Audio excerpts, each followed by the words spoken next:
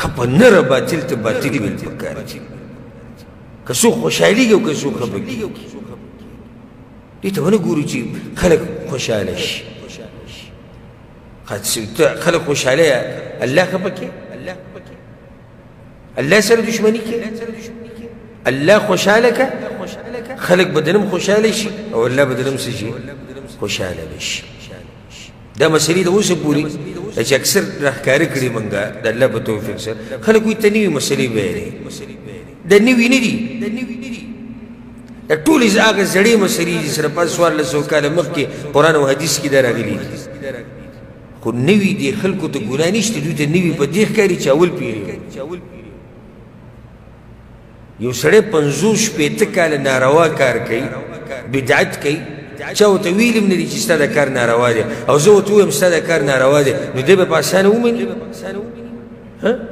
نه یې مني ما سره جنګ هم کوي ما سره لاس هم اچوي ما ته به کنځلې هم کوي ما پسې به بدې ردي هم وایي ما ته به سپکې سپورې هم وایي ځکه چې ده ته په پنځوس کاله کې چا نه دي ویلي چې ستا دا کار غلط دی هیڅ او تل نه ویل چې ستاده کار غلط دی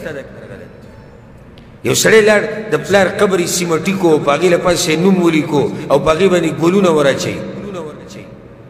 مولای صاحب خدا پرې دی چې د ته وی چې دا قبر سیمټی کول نه روا دي هغه مولای صاحب په خپل راځي چې دوا کوي هم د قسمټی قبر ته ولاړ دي سره لاسونه وچي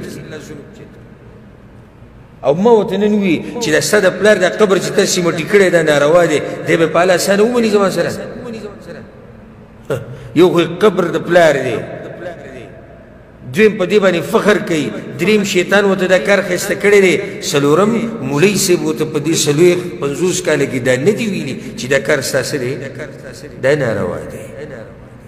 موږ د حدیثونو نه دا مسله ثابته کړه چې په جمعات کې دنه قبر جوړول څه دي ناروا دي او دا او په هغه جمعات کې موږ نه کیږي چې په کوم جمعات کې شي قبر خلک حیران پاتې شو څنګه ما ته دنیا ټلیفونونه راغلي نو دا خو زموږ پلاني شي کې جمعه ته وایي کې مولوي سي پروت ته وایي کې مولانا پروت ته بل مفتی به کې پروت ته څوک وایي دا شي دا دا به څنګه سکو او دا دا څنګه او دا ولي دی او په دې دلیل څه نو زه دا خلک په یو حصہ کې نه ملامت کوم لکه سات نه ملامت کوم اگر که ملامت دي خو لکه سات نه ملامت کوم په دې کې چې دې غریبانو ته مولیانو د حق راښکاره کړی دی مولوی صاحب راغلی د جمعې خطبه کړې ده او بس د جمعې خطبه سه یو څو خبرې دي اول وی تقریر ده او بیا خطبه ده او په خطبه کې ودرېږي او عربي یو یو یو دعا به وي سورۃ کوثر به وي یا سورۃ اخلاص به وي خبره ختم شو خلک راووتو جمعې مونږ شو پاپته کې دغه یو نصیحت ته غم دي ذکر کړي څنګه به عوام پوش څنګه به دې مسله باندې خلک ورسي نو حق حق دی او باطل څه دی باطل دی ولله الحمد ليحق الحق ويبطل الباطل چې حق حق راکاره شي او باطل څه شي باطل راکاره شي نبي علب عوام ته پته ولګي چې سيدين کم یو دی